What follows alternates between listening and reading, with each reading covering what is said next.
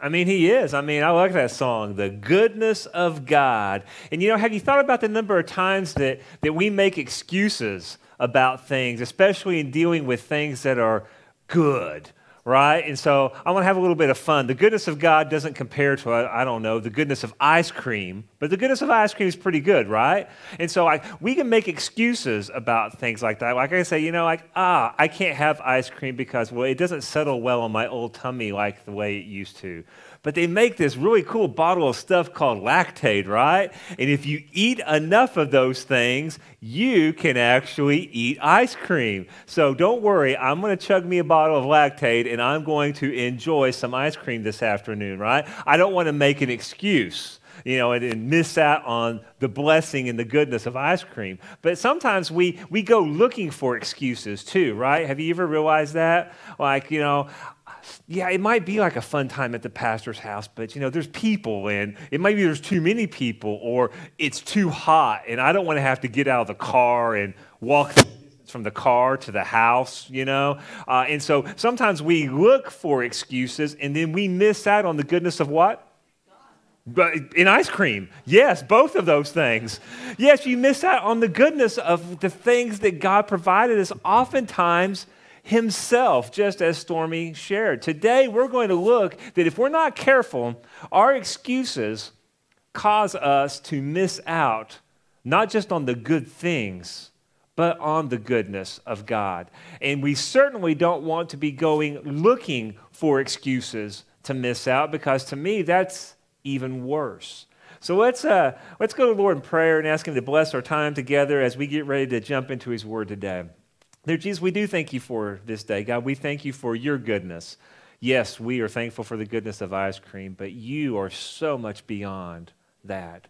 That God, you, you don't just fill our belly, you fill our life. You satisfy us in a way that overflows. And so, God, I pray that we will set excuses aside today and say yes to you. And it's in Jesus' name we pray.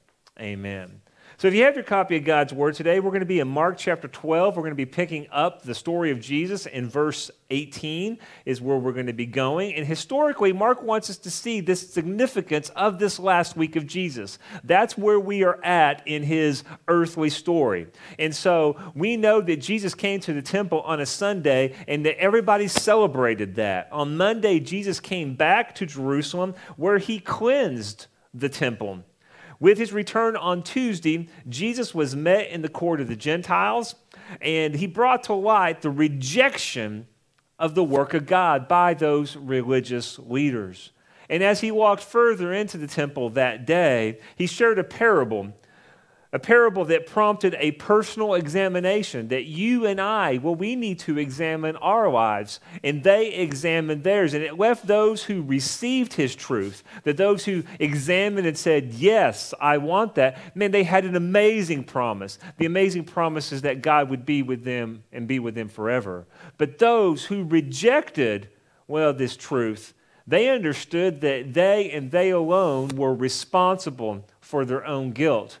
And as these religious leaders rejected the truth of Jesus, they are now coming at him to cancel him, to catch him in some sort of verbal argument or trap in order to cause him to fall out of favor with everybody else. And this is where Mark, Mark, Mark, writes and where we pick up in verse 18 this morning, where it says, Some of the Sadducees. So last time we were talking, it was what? It was the Pharisees and the Herodians, right? It was the elders. Here it's the Sadducees who say that there is no resurrection. They have come to Jesus and they have begun to question him, saying, Teacher, Moses wrote for us that if a man's brother dies and leaves behind a wife and leaves no child, that his brother should marry the wife and raise up the child to his brother. As we go on in verse 20, it says, There were seven brothers, and the first took a wife and died, leaving no children. The second one married her and died, leaving behind no children. Last of all, uh, excuse me, the fig, go back. Verse 21 says, The second one married and died, leaving behind no children. The third likewise. In verse 22, so all seven left no children. Last of all, the woman died also. So we've got this question, and man, it has descended into this hyperbole, right? You're going, holy cow.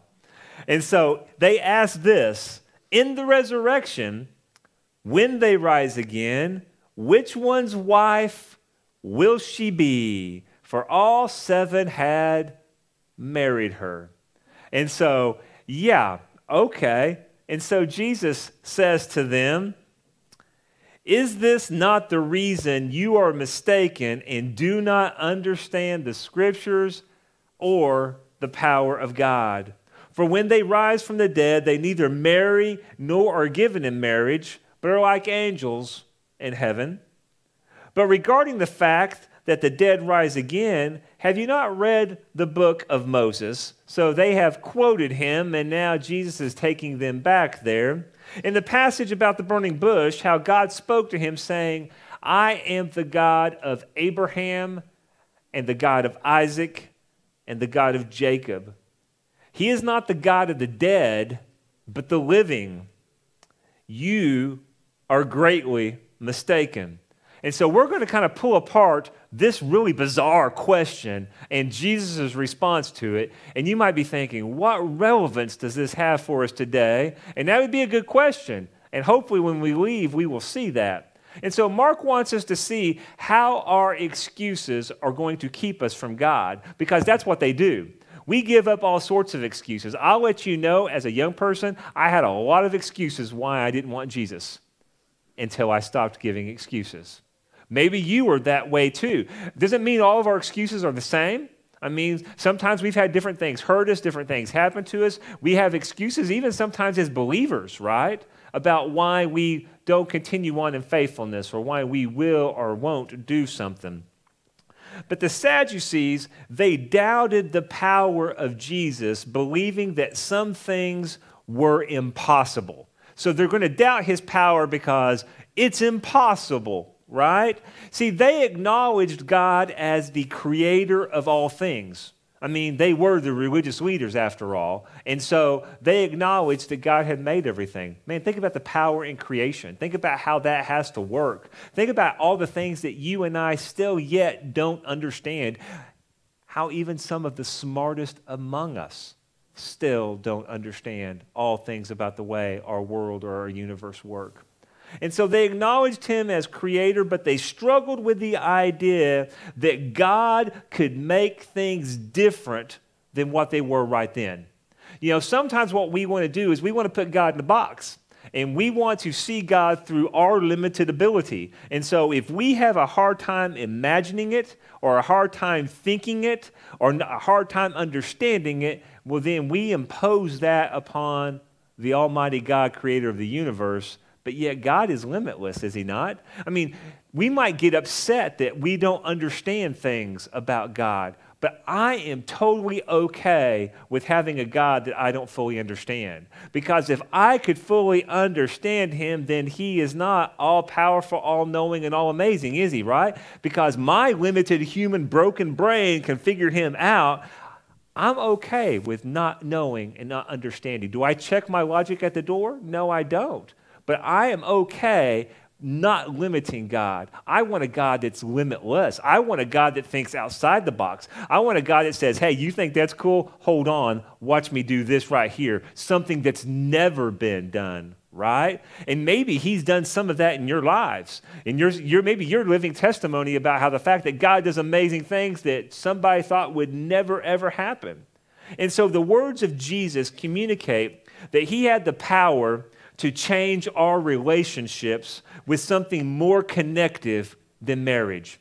Now, marriage is cool. Okay? And I mean, God takes two people and makes them one flesh in an incredible kind of mystical kind of way, right? To where you can complete each other's thoughts and sentences and know what they're thinking. And sometimes that's awesome and sometimes that's not awesome. You know what I mean? But nonetheless, God brings people together, but yet God's saying, hey, I can do something beyond the closeness that you know in marriage. Okay, that's definitely outside the box.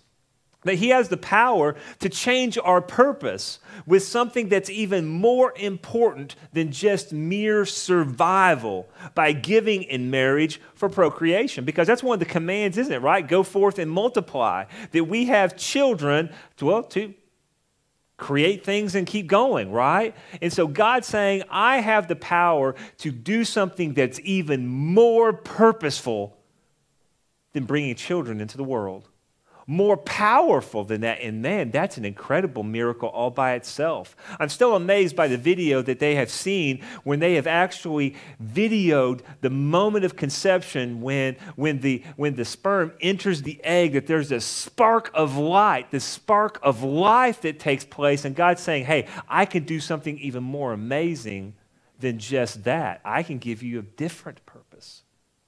He has the power to change our activities with something more worthwhile and akin to the work of the angels in heaven.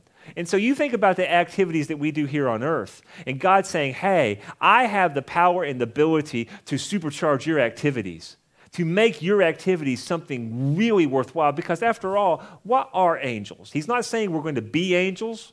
You know, he's not going to say that we've got little wings and little halos or whatever you imagine. You know, you're not going to sit on somebody else's shoulder, you know, and do one of those types of things.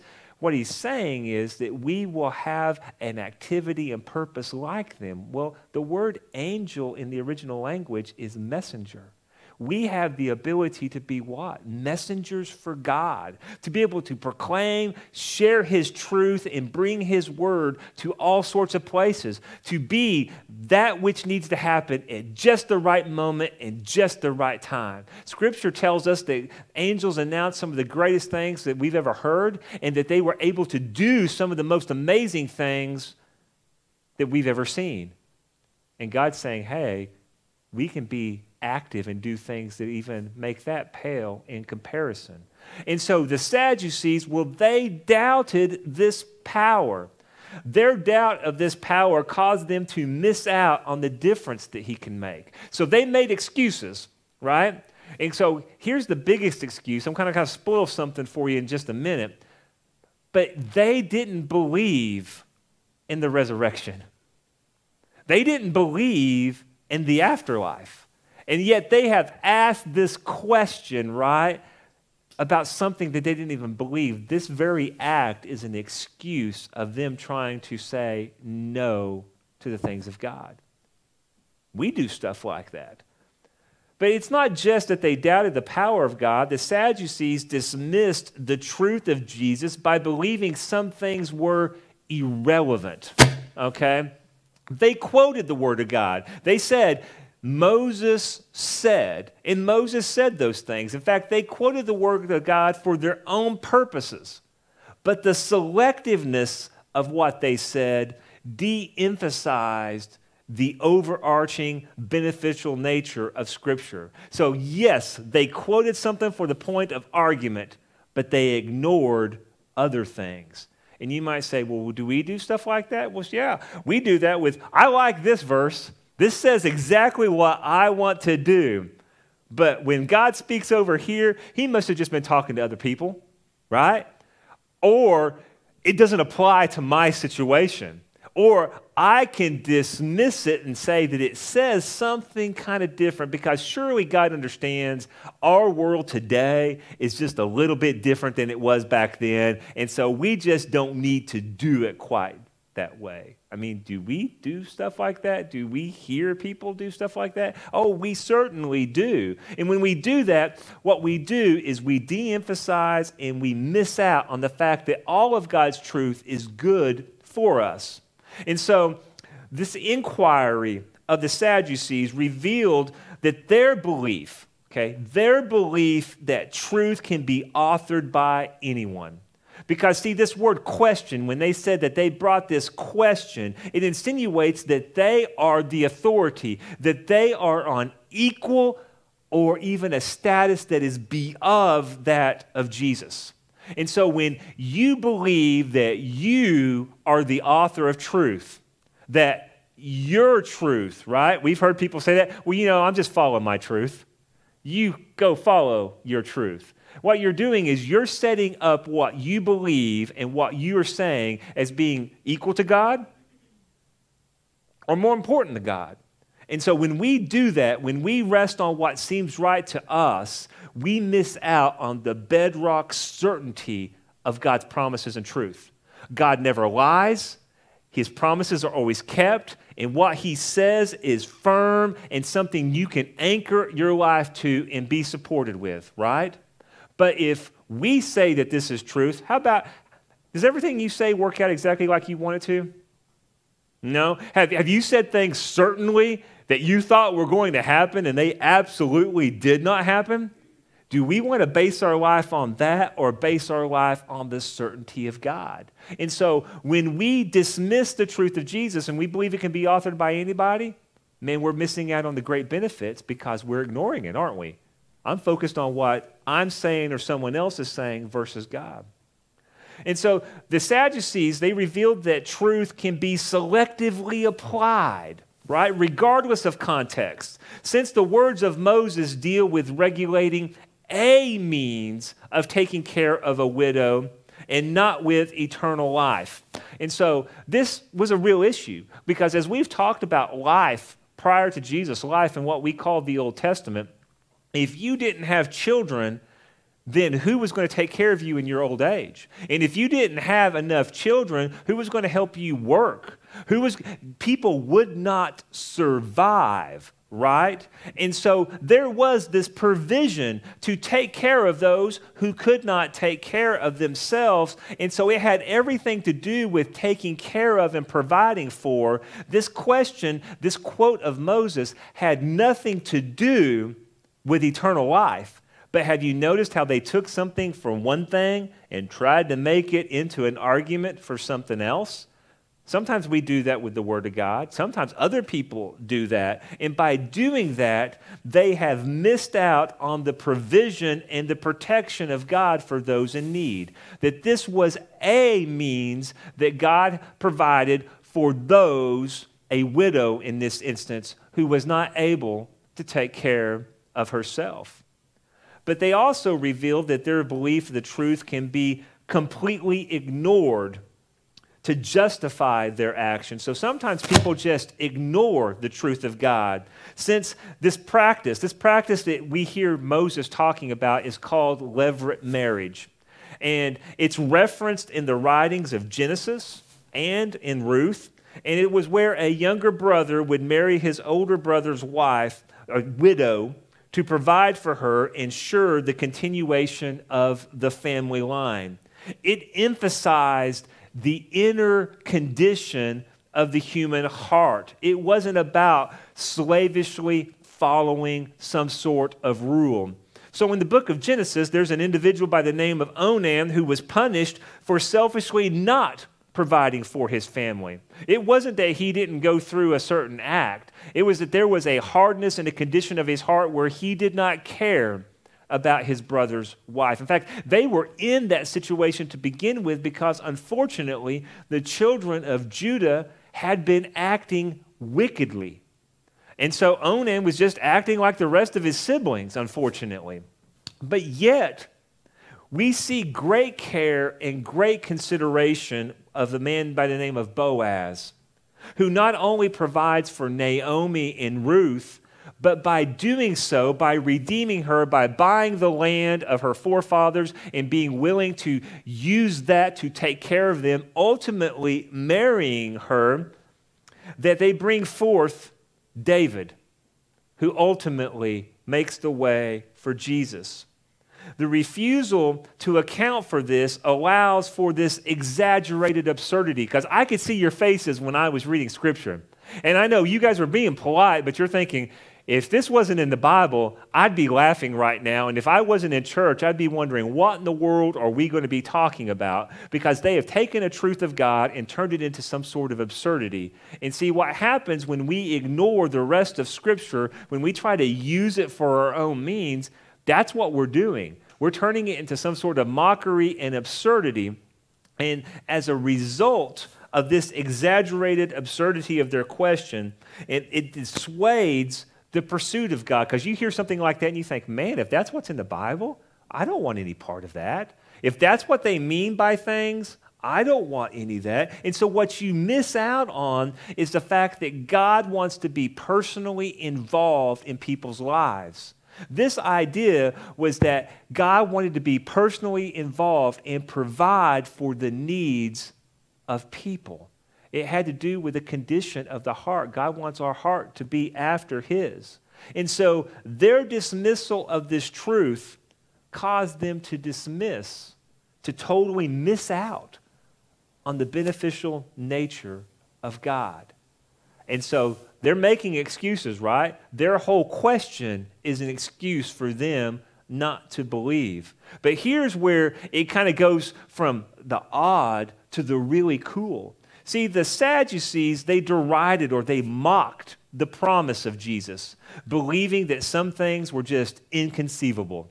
This idea of resurrection, right? I mean, they didn't believe in it. They hadn't believed in it in a long time. I had a professor who joked and said, Well, yeah, that's why they were sad, you see. They didn't believe in the resurrection. Uh, I know, it's almost a great dad joke. If we'd only done that on Father's Day. but they didn't believe in the resurrection. They, it was just outside their realm of understanding. They questioned Jesus about the resurrection and eternal life, but as I told you, what? The book of Acts tells us they didn't believe in either one of them. In fact, they believed when you died, poof, you were gone. Now, that's not what God taught, but that's what they believed. So here they are asking a question of Jesus about something they don't believe and an afterlife that they don't think is going to happen. And so this all is a giant excuse not to follow God. And so they mocked him and they tried to discredit this new forever life because that's what the resurrection is all about.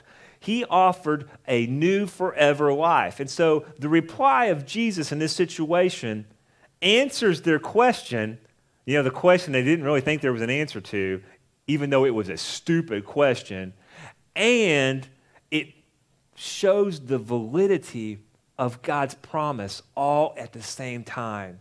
And so this happens by revealing that the resurrection is found in Scripture. They didn't believe it, but I want you to listen to this. Job writes this in the first ever recorded Scripture. See, like, yes, Genesis gives us all the way back at creation, but most scholars believe that Job in the Bible was probably the first part of God's truth that was actually written down. Moses wasn't there at creation, but God gave Moses the understanding so he could write about it. But Job here is probably the first recorded words about God's interaction with people. And listen to what Job writes.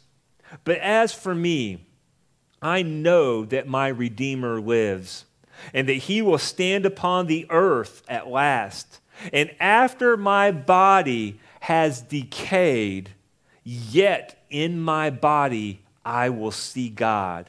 I will see him for myself. Yes, I will see him with my own eyes. I am overwhelmed at this thought. Man, can you imagine? You know, I only understand who God is through His Word, but one day I will see Him face to face in a body that is like this or maybe somewhat different. And we see that in Job 19, it's uh, 20, uh, verses 25 through 27. But we don't just see the resurrection in Scripture, we also see this promise revealed, revealing the resurrection in the very name of God. Now you say, okay, God's got a lot of cool names, right? But here, catch this. Moses tells us that God's name at that burning bush is what? I am. And you think, man, that is a crazy, silly name. But yet, this I am, Jesus affirms that not just that, but God says what? I am the God of Abraham. I am the God of Isaac and the God of Jacob. He, he says, This is my name forever. Now let's break down this a little bit. So, this forever name is a present tense verb, a verb of being, right? In the present tense. A verb of being of those who are alive. I am the God of Abraham, not what? not I was the God of Abraham. It's not that he pulls himself away, and it's not that Abraham was. What you're catching is that Abraham is. And though Abraham's body has decayed, Abraham is with his God. I am the God of Abraham, Isaac, and Jacob. He is not was their God. And so the very name of God Himself, the ones that the people of Israel wouldn't even say, right? They wouldn't speak it, it was so special. In fact, when they wrote the name Yahweh, they wouldn't put the vowels in it because it was that special. But yet, the very name of God teaches us and validates the resurrection. But not just that, but by revealing that the resurrection in his own words and his own life. So let's think about this. Jesus spoke of it directly and specifically to his disciples on three different occasions. We've already covered those. We see it in Mark 8, Mark 9, and Mark chapter 10. Not just that, but because Jesus has said these words in the group of his disciples and others, it will be the witness of others that will be used against him at his trial to put him to death. They will say, We heard him say he will tear down the temple in three days and raise it back up. And so the very words of Jesus about the resurrection himself are going to be used against him at his coming trial to put him to death. But also, let's not forget that the ultimate miracle that caused the religious leaders to lose their minds in the beginning was that he raised Lazarus from the dead. And so when Jesus came into Jerusalem from Bethany on that Sunday, when everybody shouted and were throwing their clothes on the ground so that Jesus wouldn't have to walk on the dirt and they were doing that whole palm branch thing, do you know who was a part of that big parade coming into town? Lazarus and all of Lazarus' friends and the people from Bethany who were giving what? Testimony to the resurrection. And here they all came into the temple of God. And so his name tells us about it. Scripture tells about it. Jesus, his own words. In fact, the proof of the appearance of Jesus on Easter and beyond causes the Sadducees to have to create this lie with the Romans to say, tell everyone somebody came and took his body in the night and that it was his disciples who did it. Because let's be honest, the very presence of Jesus himself proves the resurrection, does it not? They didn't just see him in Jerusalem they saw him for some 30 or 40 days. Paul tells us that there were some over 500 people, at least, who saw the risen Lord. Man, that is an amazing account. And so their derision of his promise to rise again causes them to miss out on this new life that he offers.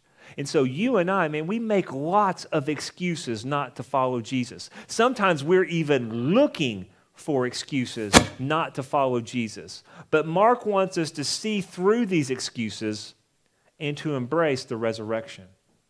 And so that's my question for you. Are you willing to do that? The crowd knew, the crowd that was listening to the Sadducees asked this question, they knew exactly what they believed.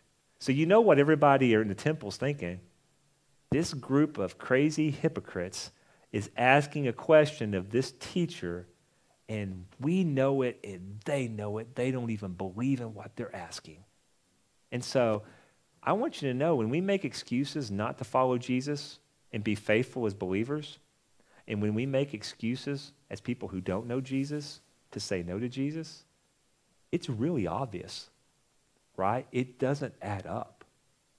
All the proof in society and the world is there to follow Jesus and that Jesus is not some crazy lunatic. And so, are you willing to examine yourself this morning?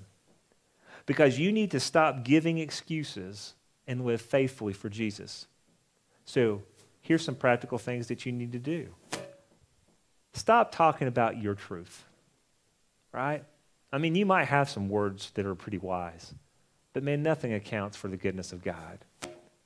Stop justifying your behavior. Hey, God's okay with this. I'm okay with it. I can kind of make a mental connection and say all this is okay. You know, you and I are really good at justifying doing bad things. We see it all through society, right? I mean, we've got an entire culture right now that is justifying really bad choices. Yeah. You need to stop ignoring your Bible. Whether you read it in a book that's on your lap, whether it's on your tablet, whether it's on your phone, we've got this collection of the most awesome truth of God Himself that's written so we can know Him and apply it to our lives and live the best life possible. And yet, if we're not careful, what do we do with it? At the best, sometimes we'll come hear some guy talk about it for 30 minutes. Man, it needs to be more of our life than that. I mean, we spend way more than 30 minutes on social media every day what do you fill in your mind and heart with? No one wants to be like the Sadducees. After reading about them today, do you want to be like them? Well, then stop making excuses and stop looking for excuses. Let Jesus breathe that new life into your relationships. Encourage you to live all for Him. I mean, that's what it's all about. The prophet Isaiah says that the resurrection brings joy man, there's something in my life that world situations can't take away. No matter how bad the world is, no matter what happens to me, the joy of Jesus is always here. I mean, I want to be happy, but happy comes and goes. But joy, mm. if you realize your life's missing something, it's time to examine. But what about you that don't know Jesus this morning? Maybe you don't know him. Well, you need to stop giving excuses and experience the resurrection. The resurrection is real. We've talked about it, right? We need to stop clinging to your old way of life. Because let's be honest, you know that your way of life isn't working. I don't need to talk you into it. I don't need to start laundry listing the dumb stuff that's going on because you know it. And so, are you willing to say, man, I'm willing to stop this because this is so much better? Man, that's what it's all about. Stop clinging to your way and grab on to the good promises that God offers. I want to ask you to bow your heads and close your eyes this morning. I want to invite you, if you're a Jesus person, to stop giving excuses and set aside the dumb sin that's going on in your life and to be faithful. Yeah, that's a tough ask. I don't know what's going on in your life. But if you claim the name of Jesus, you've already said Jesus is better than everything else. So stop with the sin and start with the yes of Jesus. And if you don't know Jesus, today you can ask him to forgive you of your sins. And if you want to do that, as soon as I say amen, as soon as we get ready to start singing, come forward, talk to me, and I would love to tell you about Jesus. Because here's the choice the resurrection is real no matter what. The prophet Daniel says, Many of those whose bodies lie dead and buried will rise up, some to everlasting life, and some to shame and everlasting disgrace. That means when you and I die, we don't die. We are raised again. And some of us who know Jesus will be in heaven. And if you reject Jesus, this isn't me, but if you reject Jesus, what you're choosing for eternity, not God, but you, is hell man, my excuse got me to hell. That's not what I want for my life. It's not what I want for you. And so if you want Jesus, then choose him and let him resurrect your life this morning. Jesus, we do thank you for today and for your truth, God. We thank you that as we look at these people who ask this absurd question, that we can see, God, that it was you providing a way. But beyond that, we see, God, that if we set aside our excuses, that we can see the goodness of God, that you change our relationships in our life, God, that you give us something that we can cling to, and that you do something new in us that can't be done by anybody but you. God, help us to see that and to want that over our excuses today. In Jesus' name, amen.